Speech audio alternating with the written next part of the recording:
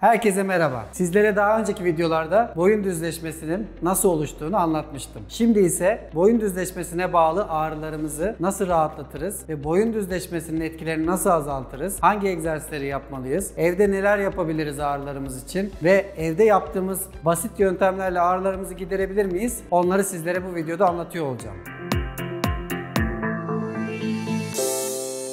Sizlere bugün göstereceğim yöntemlerde ve egzersizlerde fizyoterapist arkadaşım Gamze bana eşlik edecek. Kendisi de Başakşehir şubemizde fizyoformda çalışıyor. Yapmamamız gerekenlerden başlıyoruz öncelikle. Hepiniz doktora gittiğinizde sizlere verilen bazı egzersizler var. Mesela nedir? Elini buraya koy, başını it it it it it. İşte elini buraya koy, öne it. Elini arkaya koy, geriye it gibi yapmıyorsunuz. Kesinlikle bunları yapmayın. Biz ne demiştik sizlere daha önce? Buradaki kaslarımız gerilmeye, kısalmaya müsait kaslar. Yap mesela Gamze sen şu an. Bakın şu an ben elimi koyuyorum buraya Gamze'nin kasına bu şekilde koyuyorum. Ve burada gerilmeyi hissediyorum. Bu kasın gergin olması demek, omurgaya baskı yapması demek. O yüzden biz bu kası kasmak istemeyiz. Biz boyun düzleşmesi tedavisinde bu kasları gevşetmek isteriz, sırt kaslarını güçlendirmek isteriz. Boyun düzleşmesi nasıl oluşuyordu? Öndeki kasları aşırı kullanmaya bağlı kısalıyordu. Bu kaslar kısalıyor ve geriliyordu. Ne oluyordu? Boynumuz öne doğru gidiyordu. İlk olarak bunları germekle başlayacağız. Bunları esnetmekle başlayacağız. İlk egzersizlerimiz esneme egzersizleri. Bunları ayakta yapmanızı tavsiye etmiyorum. Ne olur ne olmaz biz tedbirimizi alalım. Baş dönmesi olabilir, denge kaybı olabilir. O yüzden bir sandalyede oturarak yapmanızı istiyorum. Amacımız burada boyun düzleşmesine sebep olan, gergin olan kasları esnetmek. Bunun için ne yapacağız? Bu şekilde bu kasları geriye doğru alıp esneteceğiz ve burada bekleyeceğiz. Kesinlikle kolumuzda uyuşma, kol ağrısı, boyun ağrısı, başka bir ağrı, baş dönmesi olursa hemen egzersize son veriyorsunuz ve bir uzmana danışıyoruz. Bu bir fizyoterapist olabilir, bu bir doktor olabilir fark etmez. Bu egzersizleri tekrar ediyorum. Boyun fıtığı hastaları ya da boyun ağrısı olan herkes yapabilir eğer az önce saydıklarım olmuyorsa. Şimdi ilk egzersizimiz için elimizi şöyle çenemizin altına koyalım Gamze. Başımızı geriye doğru alalım. Evet. Burada bir 10 saniye bekliyoruz. Yine başımızı geriye doğru alıyoruz ve bu sefer sağa doğru çeviriyoruz. Yandaki kasları geriyoruz bu sefer. Yine bir 10-15 saniye bekliyoruz. En az 2 set yapıyoruz. Her sette de en az 5 kez yapıyoruz. Aynı şekilde geriye alıp başımızı sola çeviriyoruz. Hem sağa hem sola ikisini de yapıyoruz. Yine burada yapabileceğimiz bir germe hareketimiz. Bir elimizi bu şekilde kulağımıza doğru götürüyoruz. Başımız normal pozisyonda, önde ya da geride değil. Buradayken başımızı omzumuza doğru yatırıyoruz. Burada da yandaki kasları geriyoruz. Bunu yaparken diğer elinizle, boşta kalan elinizle bir yerden tutup kendinizi germeyi arttırabilirsiniz. Bu bir yatağın kenarı olabilir, bir sandalye kenarı olabilir. Sonra diğer tarafta Aynı şekilde sol tarafa da bu şekilde germemizi yapıyoruz ve yine bir sandalyenin ya da bir nerede yapıyorsanız artık tutabileceğimiz bir yerden tutup diğer tarafı da ekstra germe yapacağız.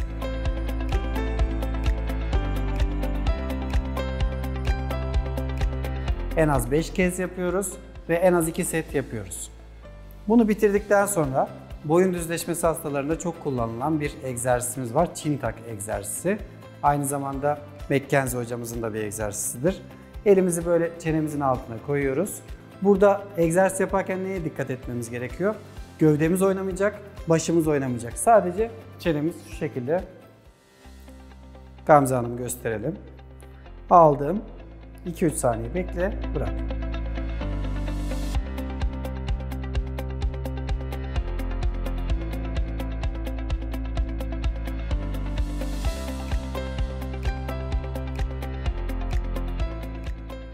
Amaç ne burada? Omurgayı esnetmek geriye doğru. Hareket ettirmek. Çünkü biz böyle gidiyoruz öne doğru. Bunu geriye doğru alacağız. Bunu da en az 10 kez yapıyoruz. Her seferinde 2-3 saniye bekleyebilirsiniz. Bir sonraki egzersizimizi havlu ile yapacağız. Bir havlu buluyorsunuz bu şekilde. İnce bir şekilde katlıyoruz. Ve bunu boyun bölgemize götürüyoruz. Oturarak yapmanızı tavsiye ediyorum yine bunu yaparken. Buradayken bakın bu şekilde Bu şekilde.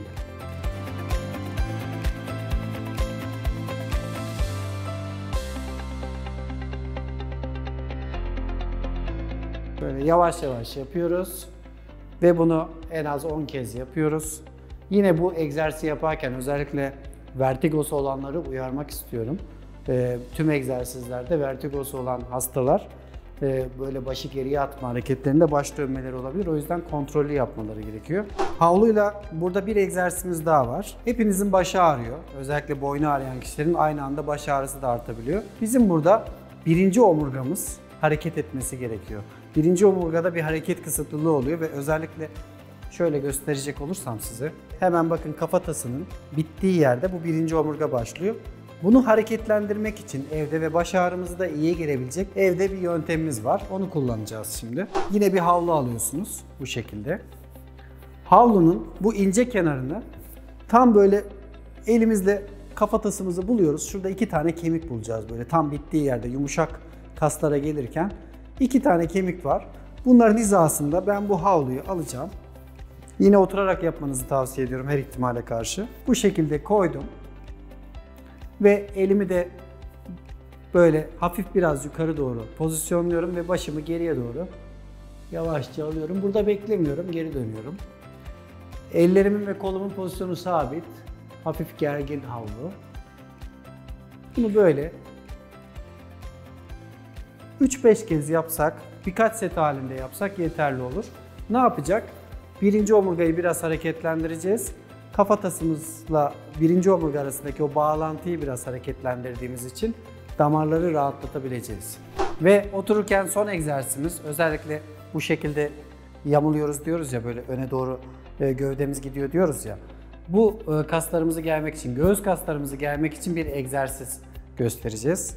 Germe egzersizi. Elleri enseye alıyoruz. Bir sandalyede oturabilirsiniz. Kollarımızı geriye doğru açıyoruz. Burada bir yardım da alabilirsiniz herhangi birinden. En az 15-20 saniye bekliyorsunuz ve 5-10 kez e, minimum bunu yapalım. 2-3 set halinde yapalım ve bırakıyoruz.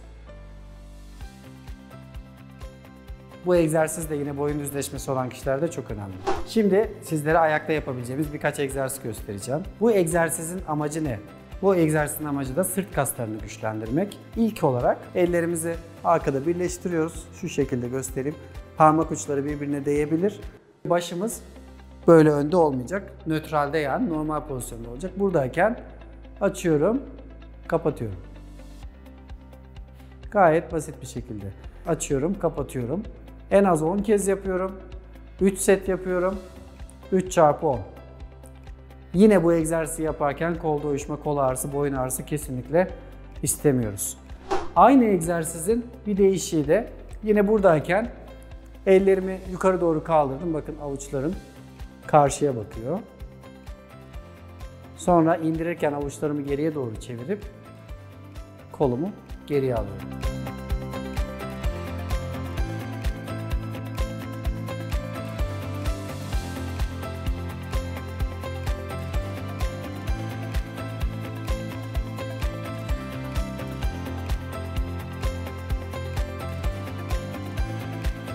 Bu egzersizler biraz geliştikten sonra, kendinizi daha iyi hissettikten sonra egzersiz bandı yardımıyla daha zor hale getirebilir ve güçlenmeyi arttırabiliriz. Buradayken 90 derece kolum ve açıyorum.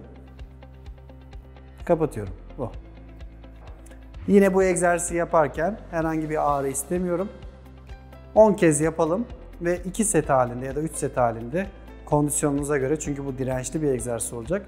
Bant seçerken de en az 120 santim olmasına özen gösterelim.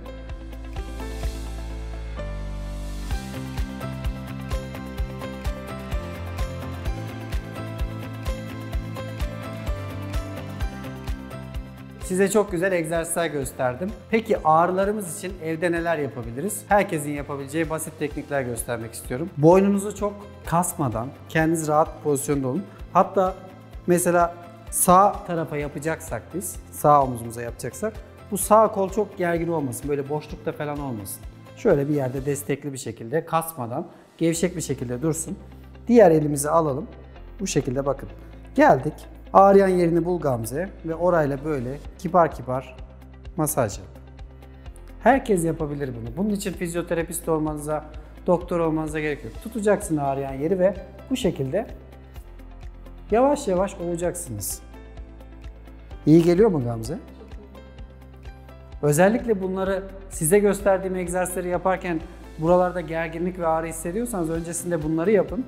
Sonra egzersizleri yapın daha etkili olacaktır. Ya da evde eşiniz ya da çocuğunuz ya da anneniz babanız size yardım edebilir. Bu şekilde bir tenis topu bulacağız.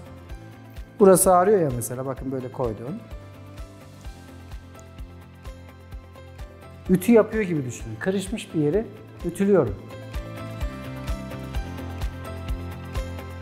Burada dairesel bir şekilde ağrıyan bölge üzerine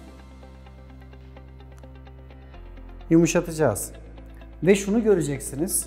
Bu kaslar gevşediğinde, size verdiğim egzersizleri yaptığınızda bütün komplikasyonları yani bütün şikayetlerinizi azalttığınızı göreceksiniz. Eğer kimse yoksa size tenis topuyla yardım edecek, bir duvar ve bir tenis topu size yardımcı olacaktır. Bu şekilde topu aldım, ağrıyan bölgeme koyuyorum. Gerçekten çok işe yarıyor bu arada. Ben de hissediyorum şu an. Sizlere bugün gösterdiğimiz egzersizlerde tekrar sayılarını ve set sayılarını her seferinde belirttim. Sizler bu sayıları arttırabilirsiniz kendi bünyenize göre. Ve lütfen dikkatli olalım. Kesinlikle ağrı istemiyoruz ya da başka bir şikayet oluşmaması lazım bu egzersizlerde. Bugün bana yardımcı olan fizyoterapist Gamze Hanım'a teşekkür ediyorum. Bir başka videoda sizlerle yeniden görüşmek dileğiyle. Sağlıkla kalın.